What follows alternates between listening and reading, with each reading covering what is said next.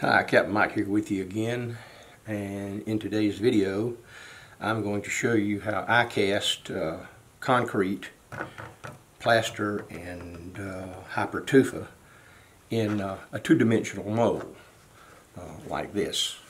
Uh, this will probably be uh, a long video and I may have to break it into two parts so you all just kind of muddle through this video with me and we'll see uh, how it goes. Uh, I'm only going to cast concrete in this video.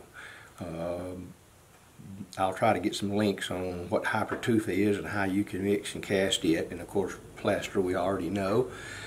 Uh, but I'll give you all the tips that I have on using these molds. Now these molds, and I have a lot of them, come from Go Statue uh, off of eBay. Uh, there are other people who sell them, but um, I have bought all of mine uh, just about from them. Uh, they're an excellent company. I highly recommend them. Uh, they don't compensate me for this. I just buy their molds. Uh, but they have good customer service. Uh, and their molds are very durable. They'll last through many, many castings, and they're even repairable if you uh, uh, know how to do that. And maybe I'll get a video on that sooner or later. So, with that being said, we're going to go over to the casting table, and we're going to get started on what you need and uh, to start casting concrete uh, yard art. Here are a couple of things you need to know about uh, your molds before you get into the actual casting. Uh, when you get your mold from uh, Go Statue or whoever you choose to get them from, uh, they're going to come just like this. Uh, they'll be a lot shinier than this, but there are two things that you really need to do. One you'll probably have to do, and one that you need to do. The one you need to do is you need to drill a hole somewhere about the balance point of this thing. Let's see how we can do this here. Yeah, okay. You know, so when you hang it, you're, when you put your hanger here, uh, the um, uh, you've lined it up with a center. Some of these molds, once they're full of concrete, you can't tell the top from the bottom. So what I do and it does two things for me, is I drill a hole about a quarter of an inch to three eighths of an inch, whatever size you want to drill it. You know, I marked it here with a little silver Sharpie, and you'll just take you a drill. This stuff just drills super easy. You drill your little hole through there like that, and you can now hang your molds on the wall if you want to, okay, because you've got this really swell little hole right here. But it also tells you that this is the top. And when you put your little hanger into the concrete, and we'll get to that, I'll show you how that's done, uh, you, uh, uh, you'll know where the center is. So that's, the, that's one of the big things. Now the thing that you're really going to have to do probably is build you a mold box to hold it flat around the edges. Some of these molds, let's see if this one, some of these molds will sit, this one will sit rather flat.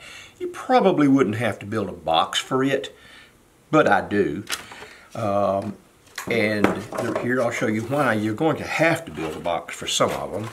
Uh, this little Buddha right here, uh, it is, as you can see, has a lot of relief and if you just lay it on the surface that you're going to cast it on, it's going to wobble around.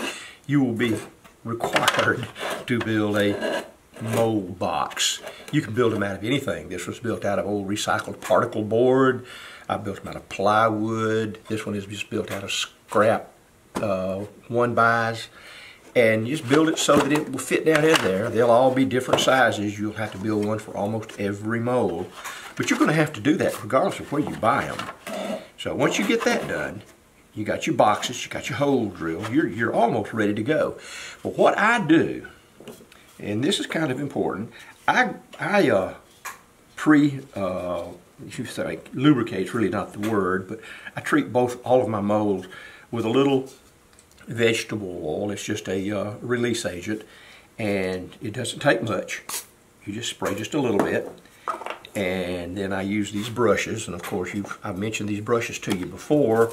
You know, you get them from Harbor Freight. I buy them by the box. They're $25 a box, I think.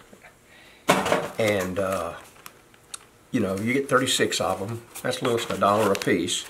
And of course, you get your 25% off of that and uh, your free flashlight or screwdriver or whatever. So, you know, look for the coupons. But these brushes work great for a multitude of things that I use around my shop. Uh, they, they're machinist brushes for pushing off stuff, uh, shavings and things, but I use them for this. I put just a little bit of uh, vegetable oil these here, uh, the type that have noses and all on them, take just a little bit more of a technique. You need to make sure you don't put too much in here. And just brush it around good. And you uh, come back and get it out of the eyes and out of the nose and the lips. Because it wants to, the vegetable oil wants to settle in there.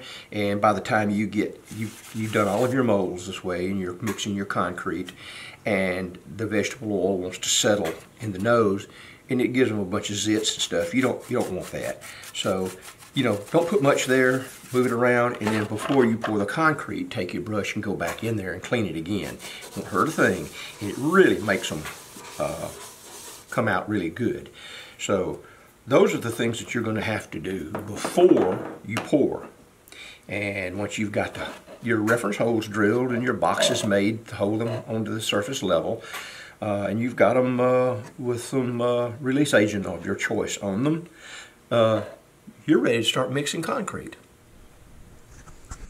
Okay, I've got a this dry mix mixed up pretty good. Uh, a couple of things I would like to mention is it does take a lot of dry mixing to get the fiberglass material uh, mixed in. I don't know whether you can see it or not, but there, there's some visible here, but it will mix in completely when you add the water. But the more you mix the fiberglass dry, the better that it incorporates. The second thing I'd like to mention is the green colorant or whatever colorant you put in it. It doesn't show up in the dry mix. It'll show up a little bit when I add water to it, but don't don't be uh, tempted to add more color than you really need. Uh, it's an experimental thing. You you have to just kind of piddle with it, and uh, you'll finally learn. Now, this part is kind of critical, and that is the water. We don't want to add too much water to this, so I start by just pouring. Uh, about that much.